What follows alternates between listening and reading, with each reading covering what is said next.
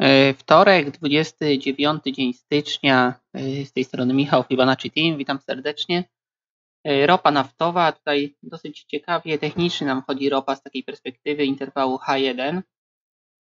Przede wszystkim może już raz przetestowany poziom, być może druga szansa od rynku tutaj się pojawi na poziomie 51 51,5, 51,3 to dosyć precyzyjna. Ten poziom jest wyznaczony właśnie przez układ y, overbalance. To jest ta największa korekta w tym trendzie wzrostowym. On tutaj została odłożona od szczytu y, w okolicy 55 blisko.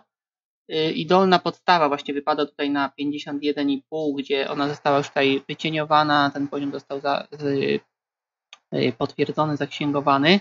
Natomiast dodatkowym potwierdzeniem tutaj w tej strefie mieliśmy Y, to AB równa się CD, a więc impuls spadkowy, y, fala BC i odkładamy sobie równość tej fali, co tutaj nam fajnie potwierdziło to FS100, y, techniczny, techniczny aspekt tej strefy.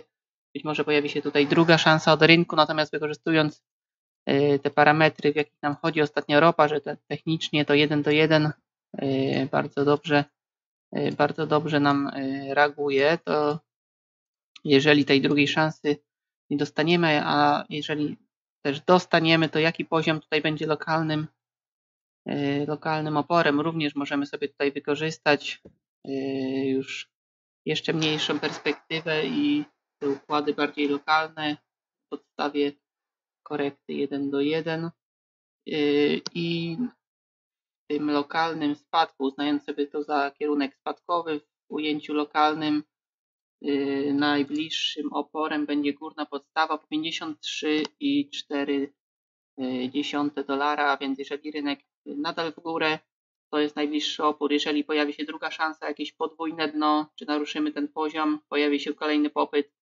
również okazja na tutaj już mniej więcej około 2 dolarowy wzrost ropy pod 53,5, 53,4